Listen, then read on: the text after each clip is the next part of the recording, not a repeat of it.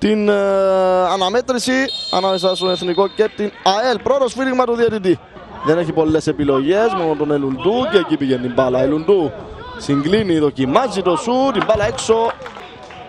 Τον βοήθησε να βελτιωθεί, να ανέβει ποιοτικά. Για να δούμε τον Μάριο Ηλιά. Ωραία κίνηση, το σουτ που έγινε στο δοκάρι και έξω.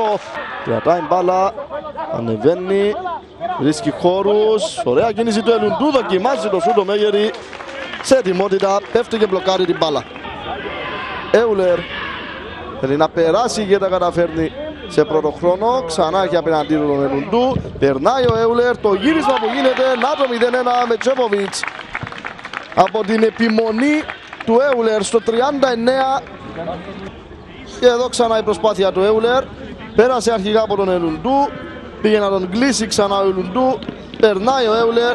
Γυρίζει την ε, μπάλα στον Τσέποβιτς ο οποίος αν και δεν είχε θα έλεγα καλή τοποθεσία μέσα στην περιοχή. Βρήκε τον τρόπο να βάλει το πόδι, να τοποθετήσει το κορμί του με τέτοιο τρόπο που του έδωσε τη δυνατότητα να στείλει την πάρα προς την αιστεία και να νικήσει τον Καβαλέσκι. Ε, από την άλλη, ε, συγχαρητήρια στα δούμε όμως τον Τσέποβιτς. Το λάθος που έγινε ο Τσέποβιτς μπαίνει στην περιοχή. Ευκαιρία για την ΑΕΛ έξω. Ε, θα έλεγα μετά από εκείνο το πρώτο καλό 20 λεπτό Να που δούμε έκανε. εδώ τον Κορουμπέτς. Περνάει μπάλα. Το σουτ που έγινε από τον Ελουντού. 1-1. Να λοιπόν ισοφαρίζει ο Εθνικός στην πρώτη του ευκαιρία. Στο δεύτερο ημίχρονο στο 64ο λεπτό.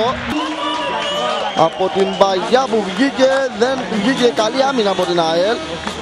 Έκανε το σούτ ο Ελουντού, έστε την μπάλα προς την αιστεία, δεν μπόρεσε να αντιδράσει ο Μέγερη, δεν βγήκε άμυνα. 0 1-1 με συγχωρείτε με τον Ελουντού ο Εθνικός. Σαβίδης. Αγγελόπουλος στο σούτ, ο Μέγερη θα μπλοκάρει. Για να δούμε εδώ τον Ανδρέου, Μιλιντσεάνου στην περιοχή με πλάτη, ανοίγει για τον Μπαλτέ. Η ευκαιρία ο Καβαλεύσκη θα σώσει. Να μην μπορεί να νικήσει από πλεονεκτική θέση. Εδώ ένα ακόμη σούτ και πάλι ο Καβαλεύσκη βγαίνει μπροστά για τον α, εθνικό. Ελουντού γλιστράει λίγο, δοκιμάζει το σούτ στην εξωτερική πλευρά των δικτύων στο 83. Έχει πέσει, θα λέγαμε, στο δεύτερο ημίχρονο. Γι' αυτό έχει επηρεάσει την ΑΕΛ. Εδώ η ευκαιρία, να το 2-1 με τον Μιλιντσεάνου. Η ΑΕΛ παίρνει προβάδισμα στο 88 με το έκτο γκολ του Μιλιντσεάνου. Βλέπουμε ξανά την ε, φάση. Για να δούμε, η μπάλα έχει περάσει νομίζω ολόκληρη. Θα πρέπει να έχουμε πιο κοντινό πλάνο ενώ όλοι πηγαίνουν στον πάγκο, στον Παντελίδη, τον αγκαλιάζουν και του αφιερώνουν ουσιαστικά αυτόν τον γκολ. Να δούμε ξανά τη φάση. Εδώ ίσως είναι πιο ξεκάθαρο το τοπίο. Εντάξει, η μπάλα πρέπει να βγει ολόκληρη από την ε, γραμμή. Τώρα θα εξεραστεί λογικά από το βαρ. Εδώ βλέπουμε τη φάση. Η μπάλα εφάπτεται της γραμμής. Επομένως από τη στιγμή που δεν πέρασε ολόκληρη σωστά μέτρησε τον γκολ.